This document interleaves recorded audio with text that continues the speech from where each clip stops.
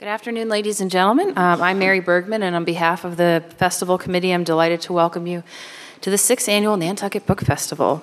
We thank you all for being here, and we wouldn't be here if you didn't show up, and you have showed up in mass. We're so thrilled. I also want to take a minute to thank our generous sponsors who make it possible for almost all of our events to be free and open to the public. And if you've been to a couple of these events, I know you've heard the speech before, but we are so thankful of those who help us um, continue these events. And they are Nantucket Island Resorts, Wendy Schmidt, the Nantucket Athenaeum, the Inquirer and Mirror, WCAI, and Magazine, Half Productions, the Nantucket Historical Association, and the Dreamland Theater. the year round work of the Book Foundation, including the festival, would not be possible if not for the loyalty of our festival goers and our friends in attending and supporting us. We've got comment cards that you can fill out as you exit, and if we don't have your email address, you can put it on there so you can be added to our mailing list and you can find out about what's coming up next. After the presentation, um, Dr. Jamison and um, Megan Marshall will be signing their books back in the alcove there. They're available for purchase. I want to give you a minute to silence your cell phones. 10 seconds to silence your cell phones, please. I just heard a cell phone ding, so there's at least one person who needs to silence their cell phones. All right. And I'm really thrilled to introduce to you today Dr. Kay Redfield Jamison, Megan Marshall, and Kate Tuttle. Dr. Kay Redfield Jamison is a clinical psychologist and writer. She is professor of psychiatry and behavioral sciences at the Johns Hopkins University School of Medicine, where she is co director of the Mood Disorders Center, as well as honorary professor of English at the University of St. Andrews in Scotland. She's the author of many books, including Robert Lowell, Setting the River on Fire, An Unquiet Mind, a memoir of moods and madness, which was translated into 25 languages, Night Falls Fast, Understanding Suicide, and Touch with Fire, Manic Depressive Illness and the Artistic Temperament. She is a leading authority on manic depressive illness, a recipient of the MacArthur Fellowship, was named a hero of medicine by Time magazine, and has won many awards for her work in the field of mental health. Pulitzer Prize winning writer Megan Marshall was a student of both poets Robert Lowell and Elizabeth Bishop. Though a native of California, Marshall was drawn to the history of New England literary culture. She's the author of Elizabeth Bishop, A Miracle for Breakfast, Margaret Fuller, A New American Life, and the Peabody Sisters, The Women Who Ignited American Romanticism. Marshall has published essays and reviews in The New Yorker, The Atlantic, The New York Times Book Review, and the London Review of Books, among others. She's received fellowships from the Dorothy and Lewis B. Cullman Center for Scholars and Writers, of the New York Public Library, John Simon Guggenheim Foundation, the National Endowment for Humanities, and the Radcliffe Institute for, the Advanced, for Advanced Study at Harvard University. She teaches nonfiction writing and archival research at the M- in the MFA program at Emerson College. She's an elected fellow of the Massachusetts Historical eh, Society and serves on boards of the Margaret Fuller Society the Nathaniel Hawthorne Society, among others. Kate Tuttle is a writer, educator, excuse me, writer, editor, book critic, and contributing. I used to be a tour guide at the Capitol, and I would speak to thousands of people. This is terrifying because these people are so fantastic, and I am so thrilled that they are here and you are here. But anyway, Kate is a book critic, contributing two regular Sunday columns to the Boston Globe as the book columnist. She's the founding managing editor of the lateafricana.com, where she wrote and edited topics as diverse as news analysis, art reviews, interviews, and essays, both personal and political. She's overseen large academic editorial projects, including Encarta Africana and the African American National Biography, published by Oxford University Press. She has written for the Washington Post, Los Angeles Times, Atlantic Online, and Salon, to name just a few and she currently serves as president of the National Book Critics Circle. Please join me in welcoming Dr. Kay Redfield Jamison, Megan Marshall, and Kate Tuttle.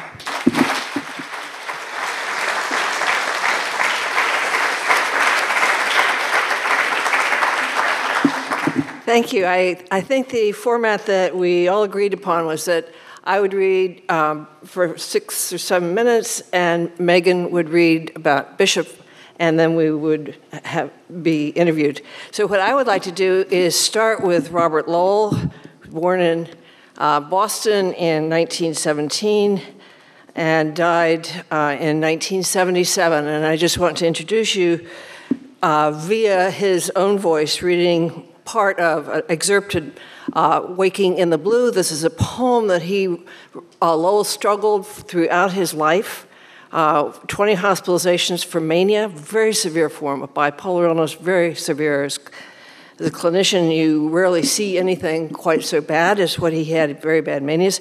This book, poem was started in McLean Hospital during one of his uh, hospitalizations for mania, revised hugely, and it goes into many, many things, as Lowell always do, but I, I just want to say one thing. He, he, he talks in this poem about there is no protection from privilege. He was from a privileged background.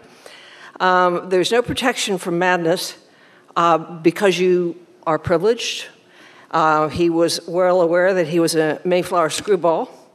And he also, from the point of view of what I looked at in terms of his medical, his, his uh, daughter, Harriet Winslow Lowell, was kind enough to give me permission to, to um, track down his medical and psychiatric records.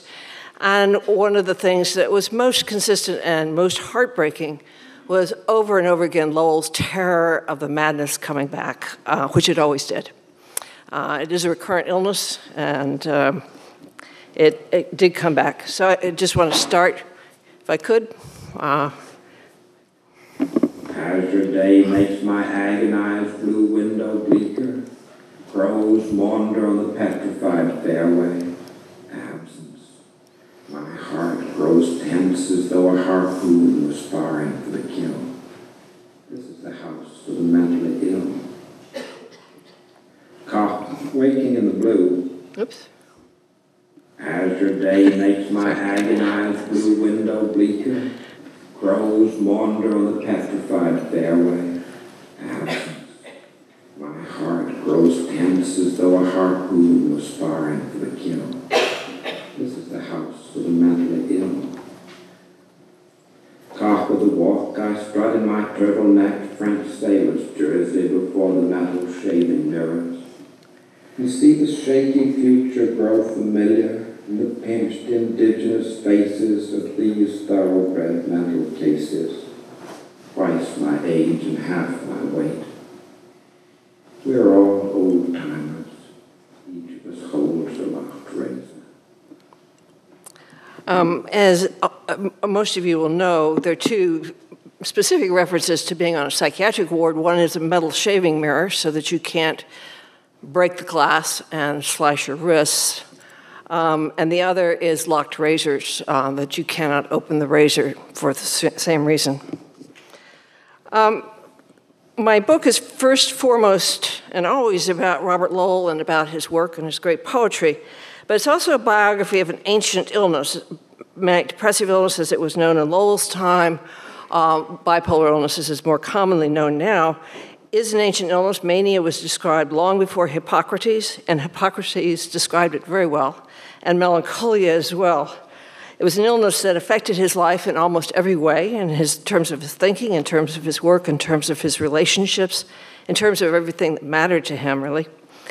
Um, but it's also a book, and, and, the book is certainly discusses at great length the long uh, established and even very recently many studies showing uh, the relationship between mood disorders and uh, increased creativity. But it's also very much a book about character, and it's a book about Lowell's great will and discipline and his learning from the ancients and from poetry and about how to, to deal with adversity, how to deal uh, with life and hard work. It's also a book about friendship. He was a great friend, and he maintained his friendships till the end of his life, despite a devastating disease, and a great capacity for love. Um, I'd like to start with a letter, uh, some writing that Lowell did when he was 19 years old to Ezra Pound.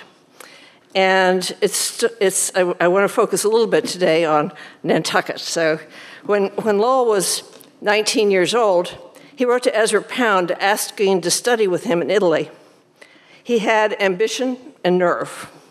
He went after what he wanted, and he did this throughout his life. He said to Ezra Pound he had never lived in the usual realities. He was proud, somewhat sullen, and violent. He said he chafed against the insipid blackness of the Episcopal Church, and in turn it had turned to, instead, it turned to Zeus and Homer. Zeus's world was enticing, morally complex, and one that blinked at no realities. He had, he continued in his letter to Pound, spent a summer with two friends in Nantucket. He continued dedicating themselves to art. Their hours and habits had been strictly regimented, and I, by that I mean regimented by Lowell. Uh, no meals, no, no smoking, meals of grain, cooked eels, and honey. They had a very regimented lifestyle. They were there to serve God and to serve literature. They wrote and read Job, Wordsworth, Blake, Shakespeare, Coleridge, and they took high oaths to be serious in their work. By the end of their time in Nantucket, Lowell proclaimed that he had begun to understand God and had grown to love my art and those who were great in it. Lowell's novitiate summer in summers, actually two summers, in Nantucket, he explained to Pound, had changed the game. Since I have been sucking in atmosphere, reading and dreaming, writing and trying to help one or two friends, this has been the only real thing to me in my life. At college, he was a Harvard student at the time. I have yearned after iron and have been choked with cobwebs. No one here is really fighting. He ended his uh, entreaty to Pound in passion and a plea to be taken seriously. Your cantos, he wrote, have recreated what I have imagined to be the blood of Homer. Again, I ask you to have me. You shan't be sorry. I will bring the steel and fire. I am not theatrical. My life is sober, not sensational. So I want to just talk about a few elements of Lowell's mind, and he had an extraordinary mind. In addition to being obviously a remarkable poet, he was also a genius and true genius in, in the old-fashioned rare use of the word genius. But he had a seriousness of purpose. He had a vastness of expectation. He always assumed he would leave a mark and he would paint on a broad canvas. He also had very strong oppositional forces in him, I mean, at the most extreme level, mania and depression, but also temperamentally, um, really dark forces and forces of, of, great light. And he was an ambitious man. Uh, ambition seems to be a word that has a lot of uh, negative connotation uh, for some reason. He was ambitious, he delighted in the ambition, and his work reflects his ambition. Lowell's seriousness of purpose helped to frame his ambition a wide capacity that spanned his expansive imagination and the manic illness that now and again would catapult him into delusion. Vaulting ambition had been his since childhood.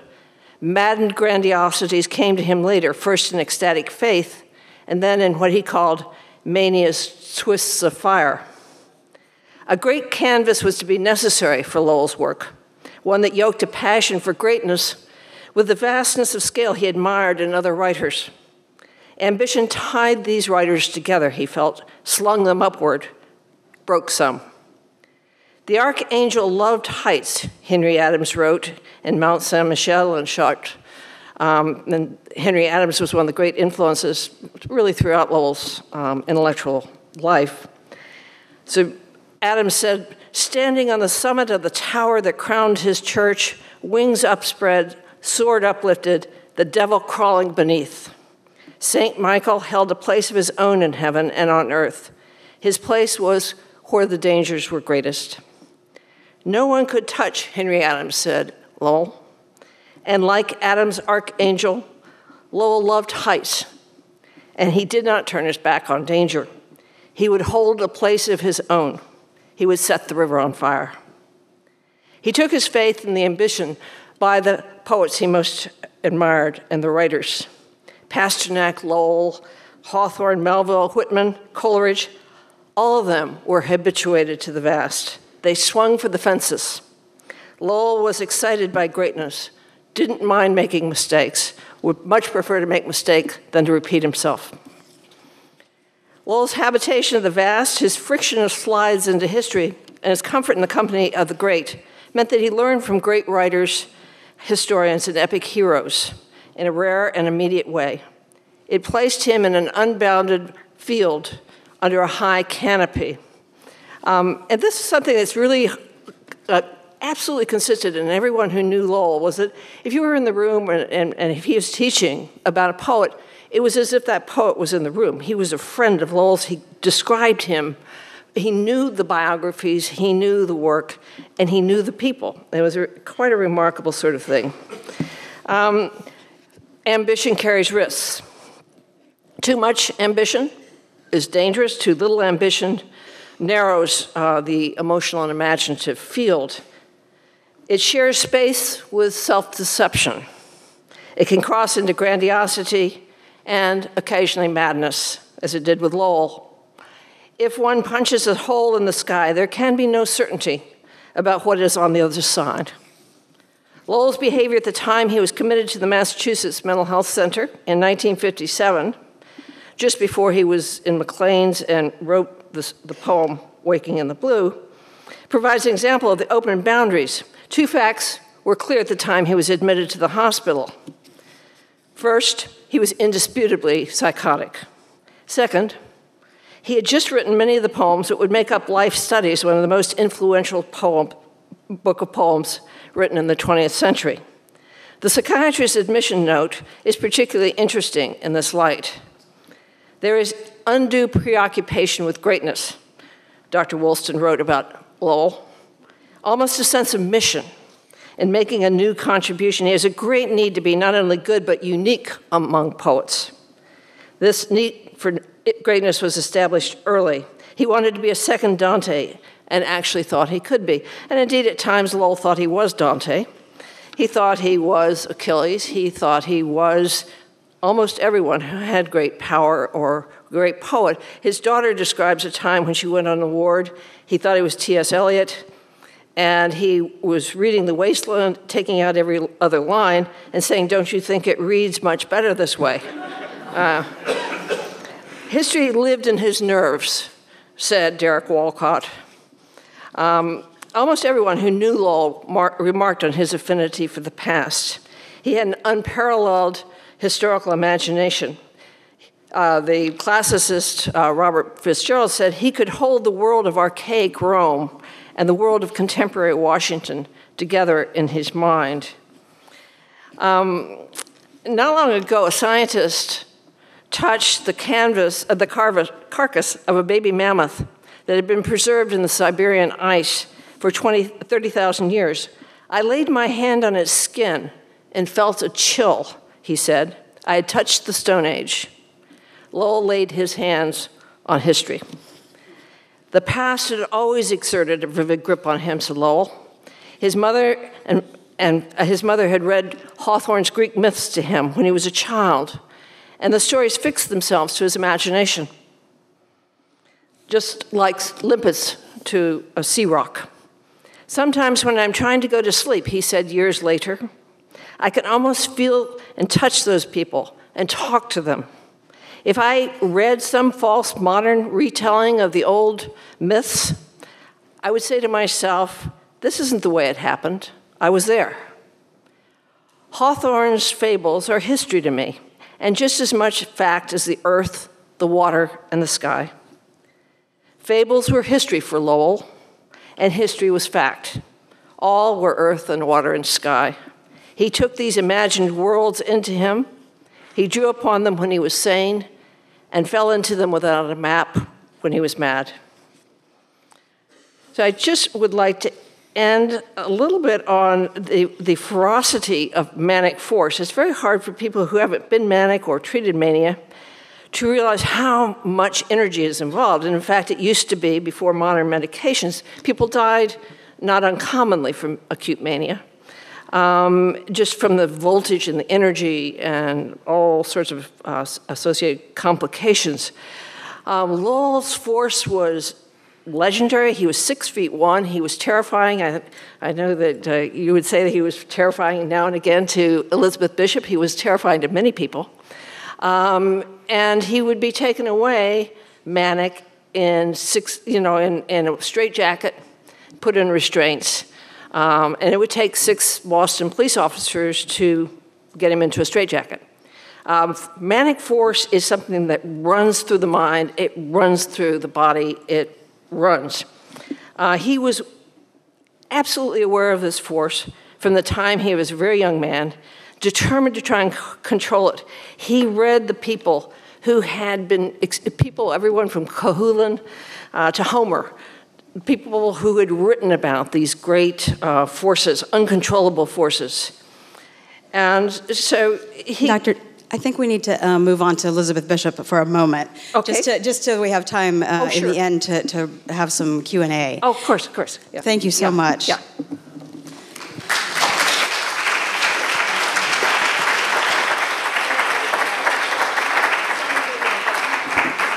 Hi, thank you very much for being here. I'm, I'm glad that Kay began with that reading from Waking in the Blue.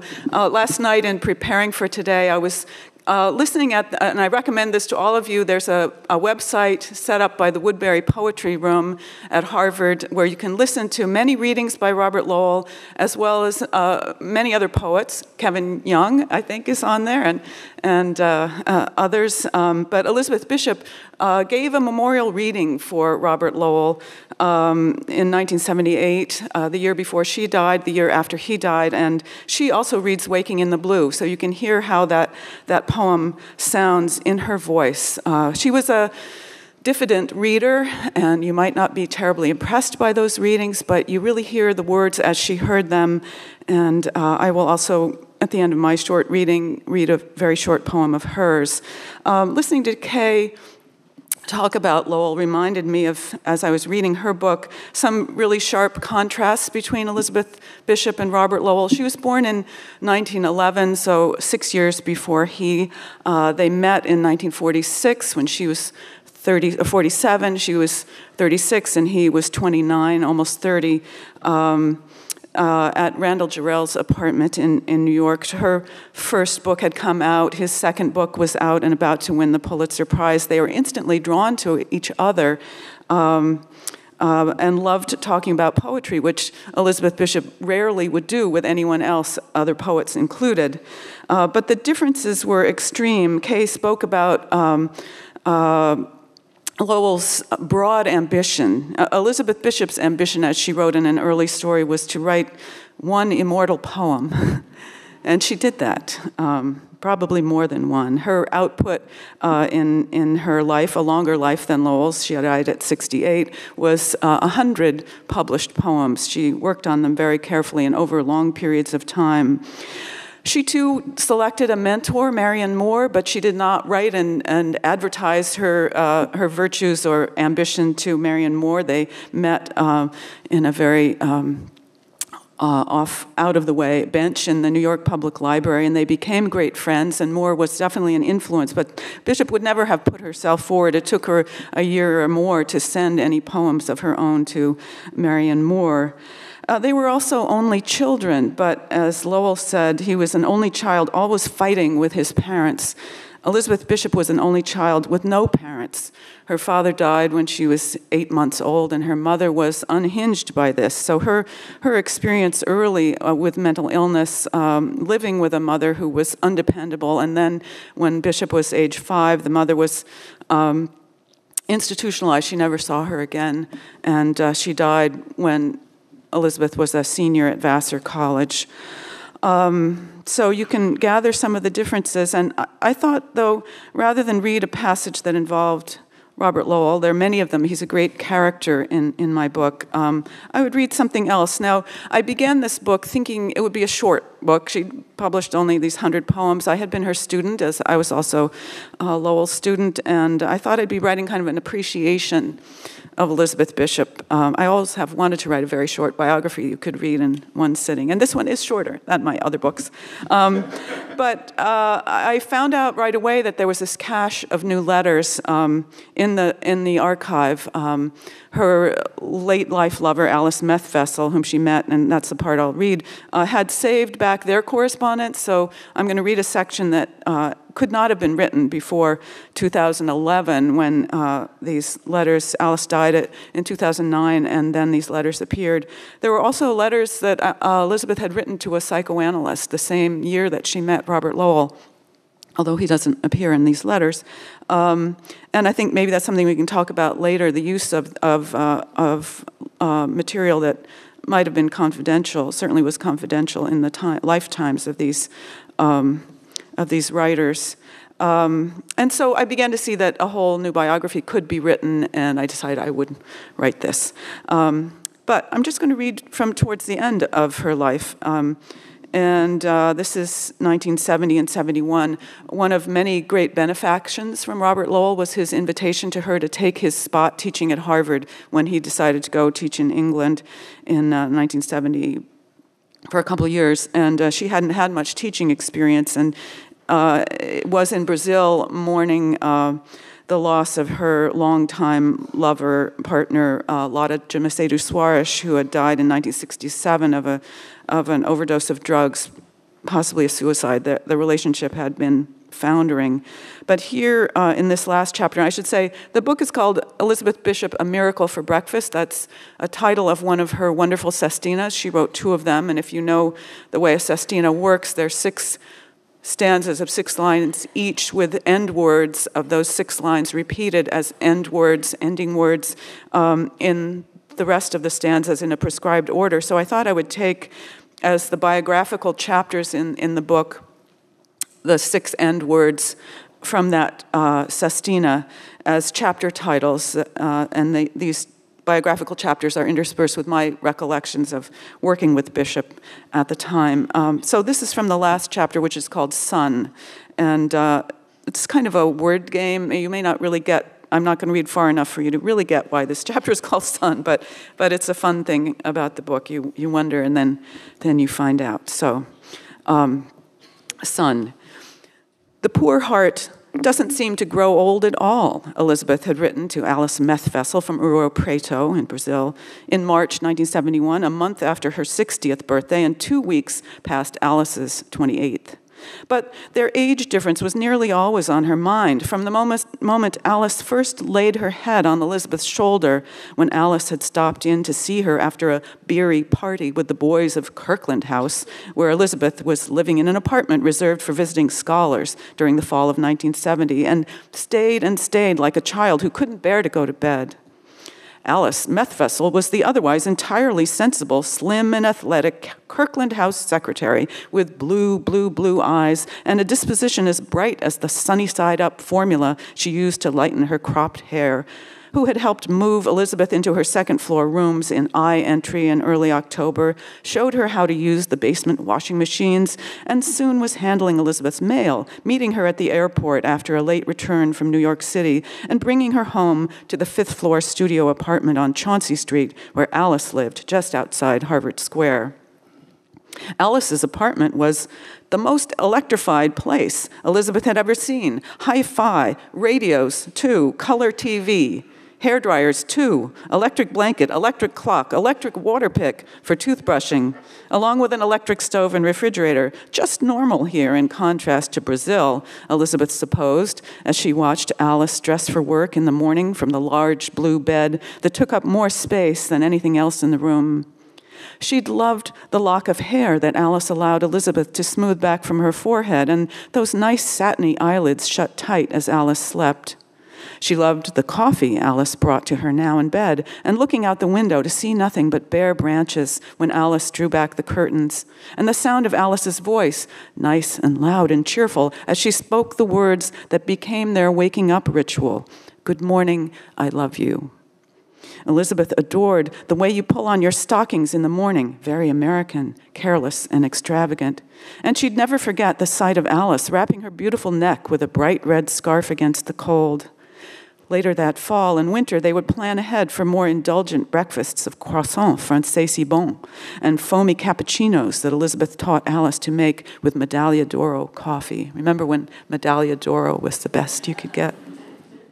When they parted at the end of Elizabeth's first Harvard semester in February 1971, following a magical weekend at New York's posh Hotel Elysee, which is actually a setting in the group, maybe you know that uh, Elizabeth Bishop was rather tormented that perhaps Mary McCarthy had, had uh, satirized her and Lota in the group, and indeed that, those, that couple shacked up at the Hotel Elysee. Anyway, but she was there with uh, Alice. Both were in tears, neither sure that the other's love could last through the seven months before Elizabeth returned to teach again in September. Alice, who was used to chatting up Harvard professors and assorted dignitaries passing through Kirkland House, had still been taken aback at your loving little me. Alice was tall. Elizabeth was the little one, but she was so much older and a famous poet. For her part, Elizabeth knew, I'm wrong in every way except as a dear older friend, she wrote to Alice from Ouro Preto, and that you are much too young for me, have many, many things you must do. Surely Alice's admirable practicality would cause her to break things off, to do what's right for you. And I'll know it's right for you, but I dread it terribly at the same time troubled by the beaux in Alice's past, and having witnessed the attraction Alice held for Kirkland House boys and even the avuncular housemaster, Professor Arthur Smithies. He'd given Alice a book called Nymphos and Other Maniacs for her birthday. Elizabeth wooed Alice as best she could in letters she feared were indiscreet and asked her to please destroy after a while. Well, I would never have been able to write this if she had destroyed them. She conjured a scene, Alice arriving home from work, where all your electrical gadgets will be waiting for you, and they will turn themselves on and begin throbbing and singing, Alice, we love you, we love you, we love you. Please let us warm your little body and dry your hair and make ice for your bourbon. But Elizabeth didn't really have to try so hard. Her sensible lover would not be shaken off course despite the occasional dinner out with Bob the Boring or the sighting of a former beau, Toby. She signed her letters for always Alice. Well, I just want to close reading a very short poem. Um, Adrienne Rich complained um, in an essay about uh, her literary mentors um, that Elizabeth happened to read and say she partially agreed with, that um, Elizabeth Bishop and Marianne Moore, these eminences that came before Rich, uh, were very reluctant to write about um, human emotions, about the physical, about the sensual. Um, but she didn't know that Elizabeth was actually writing quite a number of very passionate love poems, and uh, these emerged after Bishop's death. Um, and here's one of them. I read it because it's I think, one of just two poems in which she mentions books, and here we are at a book festival, but this is a different kind of book. Close, close all night, the lovers keep. They turn together in their sleep. Close as two pages in a book that read each other in the dark. Each knows all the other knows, learned by heart from head to toes. there was one stanza that she left out, even in that draft, which uh, some people found after her death. And this, this stanza was in, uh, in a notebook. Once in the night, the lovers turned over tightly together under the cover.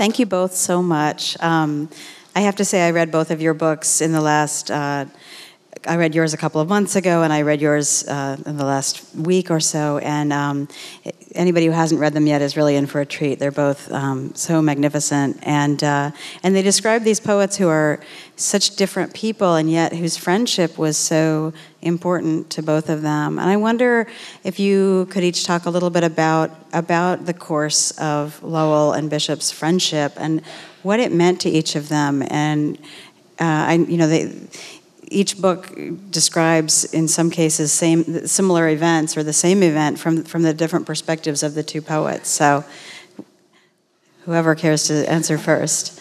Uh, well, you know, one of the things that probably could be debated is the influence of each on the other, and uh, one of the uh, important influences, I believe, just from reading the chronology of events, is is Bishop's surprising influence on Lowell to write autobiographically. I mean, he's known as the confessional poet, but it was Bishop's story uh, in the village about her childhood, about the sort of traumatic, her, her, mother's scream, the last thing she heard before her mother was taken away, uh, floating over this idyllic um, Nova Scotian community where she was Bishop was living with her grandparents and aunts. Um, uh, Lowell loved this story and uh, I think it was that, among other things, that inspired him to write 91 Revere Street, his own autobiographical story.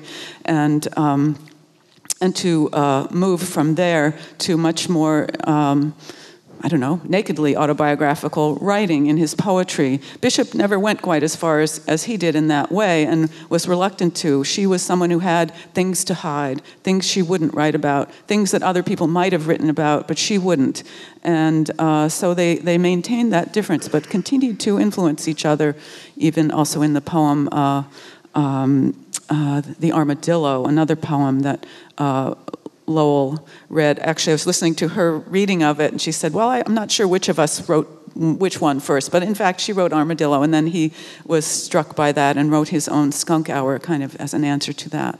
But maybe you'd like to answer too.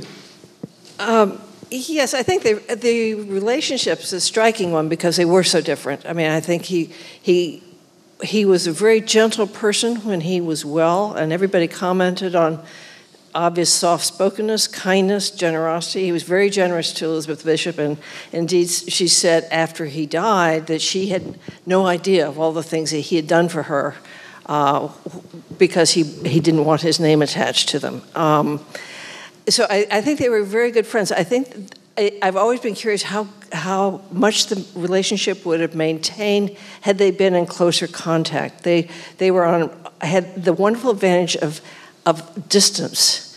And so the, the letters are extraordinary letters. The relationship was, you know, fundamental and extremely important to both of them. But I also think that um, they would, whenever Lowell got around her, I mean, I think in a way it's romanticized a little bit that he said that this was once the, you know, the great might have been, but in fact, he was manic. And whenever Lowell got manic, he got attracted to anybody, uh, in fact, and, and, and, usually to, he was uh, attracted to her in a totally different way. But it's, it's, I think that was understandably upsetting to her.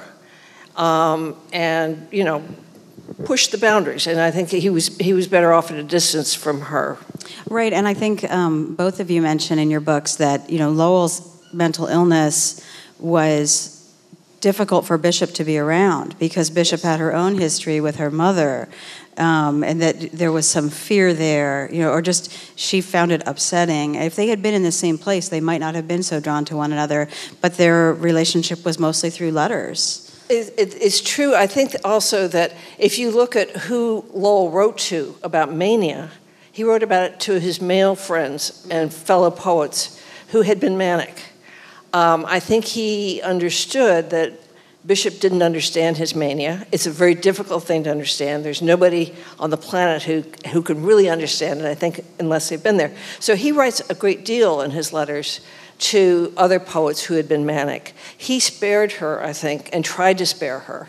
Uh, she was very supportive, but she also, I think, you know, understandable. Well, a lot of people. You know, it was interesting that in the memorial reading, she chose to read first three poems of his early poems that were his own uh, memorials to ancestors, and then these three poems, including "Waking in the Blue," that she said were written under, under or after times of, of duress and in hospitalizations. And she said, you know, it's the the uh, miracle was that he would emerge and then write write great poems. So, you know, she wasn't. Um, I, I, don't think she was not able to understand, but I think she did want to keep a safe distance, and I think that that is understandable. I just wanted to mention a couple of other acts of generosity of Lowell's that I heard in, in his reading uh, from 1975. He was he began by saying, "This is a, these are very good years for uh, writers teaching at Harvard," and listed quite a few.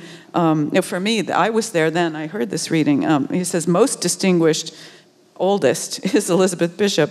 Um, and then he says, this is also speaks to the influence. He says, Before I did, she discovered how to get natural language into a poem. And that's quite something for him to say.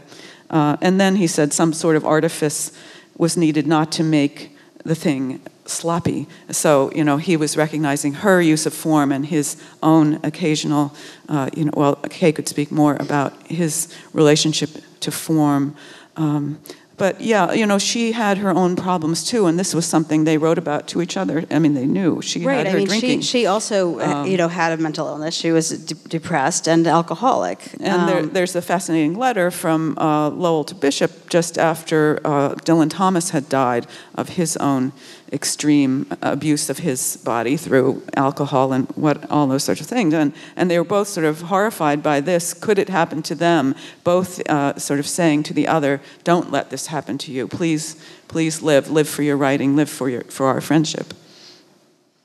And yet they, they couldn't either one really save themselves or each other. No. You know, I uh, one thing I, I wonder often when I know somebody's worked on a biography, you know, you live with that person for a long time, um, the person you're writing about, and I wanted to ask each of you, when you were done with the book, did you did you miss hanging out with Lowell? Did you miss hanging out with Bishop? I mean, did you form your own emotional attachment as a writer to the to the writer you were writing about? Well, in a way, I, I've, as it were, hung out with Lowell since I was 17. so he's been in my life and he's not going anywhere in, in that sense. I, I, I would be deeply reluctant to not think about him a great deal. I've, I started off writing about him uh, with admiration, and I ended up in awe and respect and great, great. Um, respect for his personal courage and his kindness and the difficulties. It was a tragedy. It's writing, it's writing a tragedy when you write Lowell's life. And there's an awfulness to that, the pain and the suffering. Um, but he contended. It, and I, I just, I can't, don't want to get that out of my head. I admire that. Uh, speaking of awfulness, uh, Bishop's favorite line from one of her own poems was awful but cheerful. And uh, I think she held that up as, as, uh, as a goal, a way of overcoming the awful. This is inscribed on her, she asked to have it inscribed on her gravestone in, in, in Worcester uh, Cemetery. But, you know, I think that both of our books are written in a kind of biographical m- mode that I call sympathetic identification. There's, uh, we're very engaged with these characters. Um, me, somewhat more personally, in the case of this book, because I had known Elizabeth Bishop, uh, there's a way that the, uh, without, I don't want to give away this little plot that uh, is threaded through my memoir sections, but um, it, I had not had a, I was not close to Bishop. In fact, I had reason to think I had uh, gotten on her wrong side, which one doesn't want to do. And in the course of writing this book, um, I, I was able to write out that story and, and kind of resolve those feelings. Uh, she began our class by saying she didn't believe poetry could be taught. Um, and I think in many ways this book was a, a, response to that, trying to, my sense was she was saying uh, a, po- a, a poet's work is comes out of their life. You have to live this, you have to read. She couldn't do any of that for us. And, and by presenting this life, um, I feel that I've kind of answered that, that question, that sort of uh, frisson that we all had when she, we, you know, we showed up, we'd been selected for the class, but what were we going to do? You know, can't be taught. Yeah, exactly. It's so interesting. I, I want to hear more um, from UK, and I know our time is short. We just have about five more minutes, but um, about you write a lot in your book, not just about Lowell, but about um, the sort of broad history of mania and how we've understood mania. Um, and you, you, you sort of attack the, the notion of, um, you know, is it a romantic notion that craziness and genius go together, or is there something really to it? And I, I know that you mentioned that the, the, the research isn't really 100% there yet, but you feel that it's sort of getting there. I want to hear you talk more about that, about the relationship between um, certain, between mania and creativity. Right. Well, I think it's a pretty strong one. I think you have to say that most people who are creative clearly are not manic, okay? And most people who are manic clearly are not creative. So that's, it's rather that there's a very striking increase. And this has been anecdotally observed, which is, has no scientific basis, but anecdotally observed for thousands of years. In recent years, in the last hundred years, there are probably 60 studies in the last 10 years, these are studies of hundreds of thousands of people, in a couple of cases, a million and a half people. These are increasingly rigorous studies, and they all go in the same direction. A very much elevated rate, of, particularly of bipolar illness, in highly creative populations.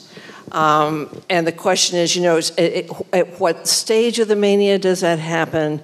At, that people who have bipolar illness are also disproportionately likely to fail. So you have this kind of group of highly successful people with bipolar illness and a group of people who are very unsuccessful and who have earlier onset and, and so forth. So I think it's a very strong finding. There's a recent, very interesting work in genetics looking at this, um, much more work in neuroimaging. So it's, it's no longer just doing biographical studies. I mean, several of us have done biographical studies of looking at cohorts of 100 people or doing studies. I did a study of 50, the top poets and, and uh, writers in England and looking at treatment histories and effects of moods on season, you know, seasonal patterns and all that kind of thing. But the, the recent studies are really long, uh, large, and, and so I think I think it's real. I think the question, interesting question is why, and that we know that there are a lot of ch- fundamental changes in the way the brain processes um, words and information, and, and words just become more fluid when you're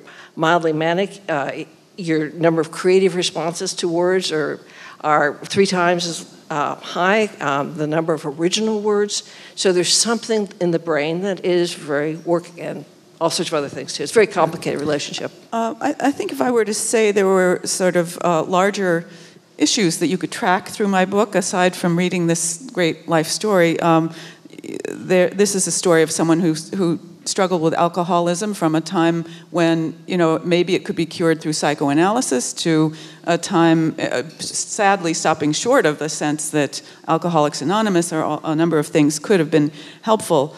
Uh, I learned that she was advised to go to AA, and her lover at the time, uh, this was in the mid 60s, they both said, I don't want to end up in a church basement with a bunch of winos off the street. We're not going. Whereas I was able to meet one of her uh, still living lovers, this, this person who told me the story. She said, If I'd known now what I knew then, uh, I, I'd have taken her there right away. But beyond that, I think one of the things that's so striking about this life, uh, Elizabeth Bishop, we now know from these letters, knew uh, very early on that she was attracted to women. She was a girl and a woman who loved women, and that was never anything she was trying to change. She nev- did not go to the psychoanalyst to try to work on this uh, she found a psychoanalyst, several of them, who would support this, or at least not work against it. Um, and I was very interested to write about a life that was lived in this way, but still in the closet. She was not, you know, the, the history we know of, of uh, gay men and women tends to be, you know, gay rights. Who's going to stand up? Who's going to wave the rainbow flag first?